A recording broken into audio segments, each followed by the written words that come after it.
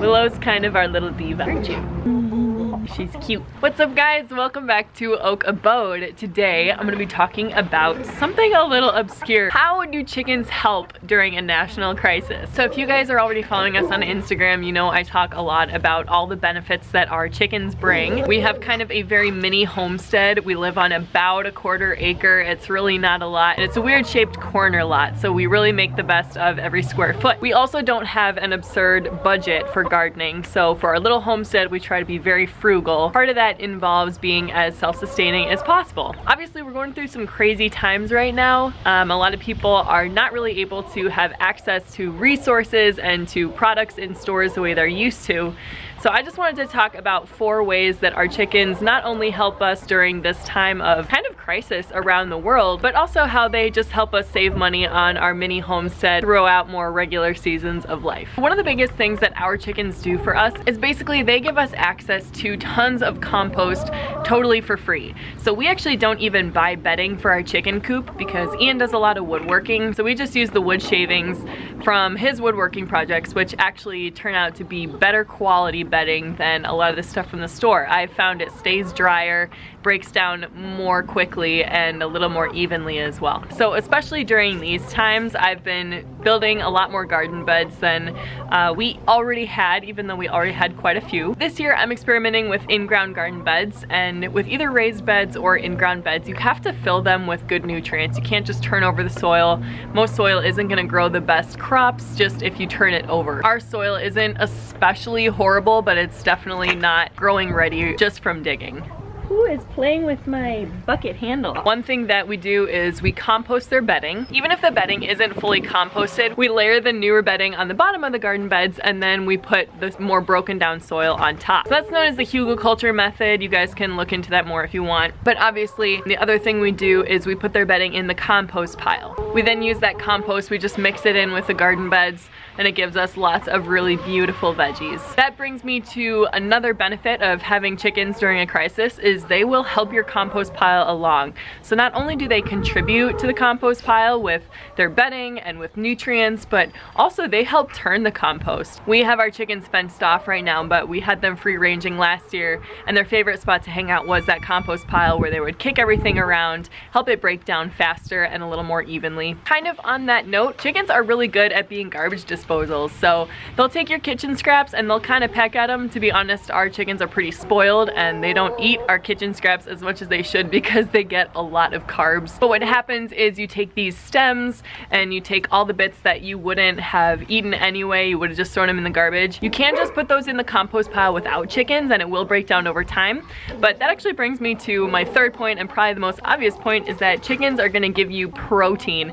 Free, pretty much endless. Oh my goodness, Millie, you're gonna knock over my camera.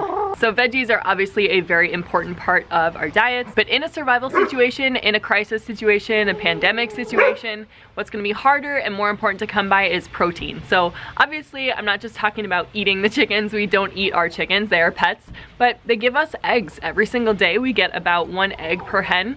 So, oh, don't jump up there. So we actually do not use supplemental light in the winter.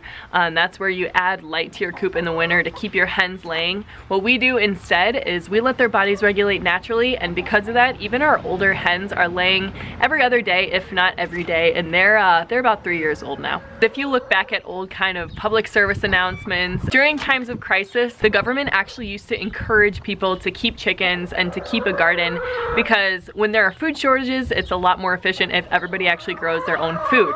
So it's not only that you're getting eggs, but it's also that you're gonna be getting that many more tomatoes, cucumbers, zucchini, all the good stuff because the chicken waste is going to be very good for your garden as well. And of course, it's all free, so it saves us a ton of money whether the world is in crisis or not. Another way that chickens are hugely helpful during a time of crisis is that they really take care of themselves. All they need is access to food, access to water, protection from predators and protection from the elements as well that's pretty much it. I had guinea pigs growing up, I had parakeets, I had pretty much every pet that you can imagine. Chickens have to be the easiest animal that I have ever cared for. Even if you don't have chicken feed during a time of crisis, they're really good at finding their own food. And like I said before, they are really good at taking those kitchen scraps that you have on hand that were going bad or that you weren't gonna eat anyway, and then they turn them into very valuable protein in the form of eggs and meat if that's something you're into. And all the while, they're pretty much taking care of themselves. Lastly, one of the coolest things about having chickens is they are actually really good companionship as well. So again, kind of a problem and why we don't eat our chickens, but we have become quite attached to these little guys. They are very, very personable. They're kind of wild as babies, but they actually get very, very friendly as they're older. Once they start laying especially, they really calm down. Some breeds are friendlier than others, but um, I really enjoy coming out into the pen or just feeding them in the mornings.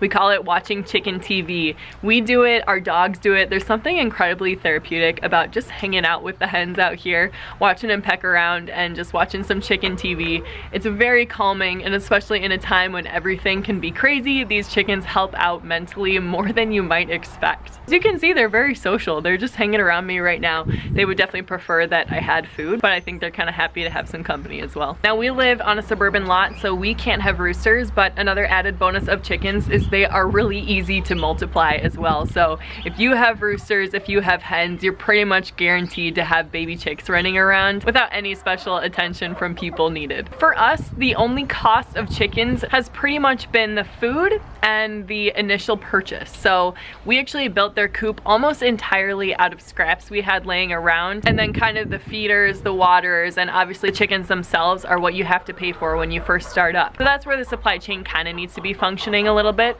But when you once you have those basics, all we really need to keep buying to care for our chickens is the chicken food.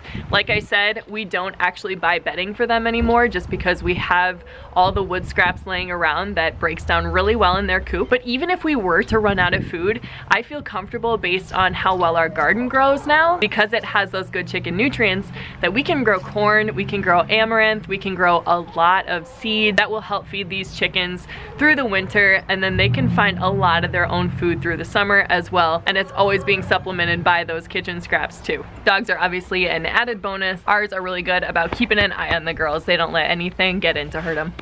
So if you guys have been thinking about getting chickens, you guys can always send us a message on Instagram. Our Instagram is oak underscore abode. You can always leave us a comment below. I do my best to respond to those. So if you guys like this video, make sure you click like below and don't forget to subscribe to our channel. I'm also gonna go ahead and link some articles we've written on our website below. They're all about how we care for our backyard chickens, some of our favorite breeds, um, and things that might help get you started on your journey.